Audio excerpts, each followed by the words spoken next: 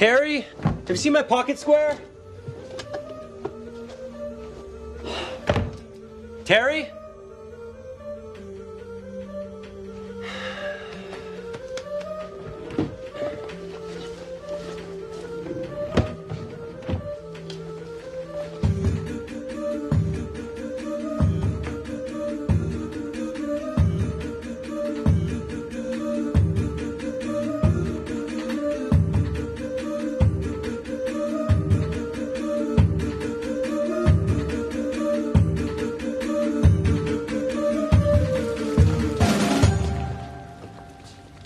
A pocket square is going to make you look like Ted Knight.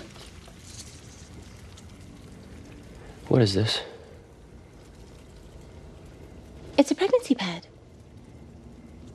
They have them at the maternity stores for trying on clothes so you can see how you're going to look when you're showing.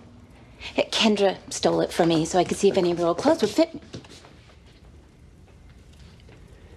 Pick up your shirt. What? No. Pick up your shirt. You're scaring me, Will. Okay, think about what you're accusing me of. Think about it and turn around and go find your pocket square. Please.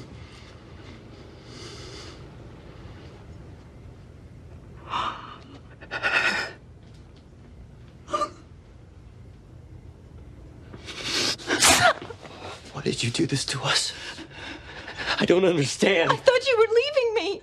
Oh, you're so different, Will. We both know it. I can feel you. You're pulling away from me. Why? Because I, I I've started standing up to you, trying to make this a relationship of equals. No, because of the damn Glee Club. Ever since you started it, you just walk around like you're better than me! I me. should be allowed to feel good about myself. Oh, God, who are we kidding, Will?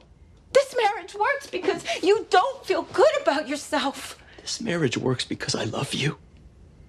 Because I've always accepted you, No. good and bad. You love the girl you met when you were 15. I'm not that girl. You've made yourself a stranger to me now. Are you happy? Are you satisfied? It didn't start as a lie.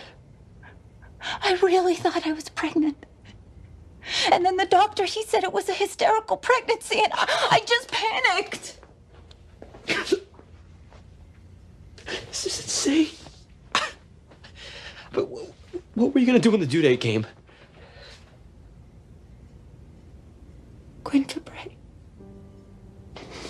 It was so perfect. She didn't want hers, and I needed one.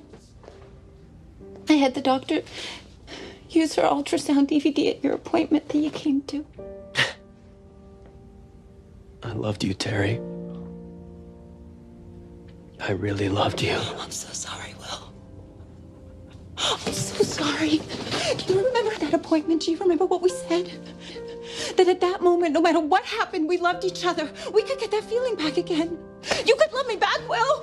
Please, Will. Please don't go. Please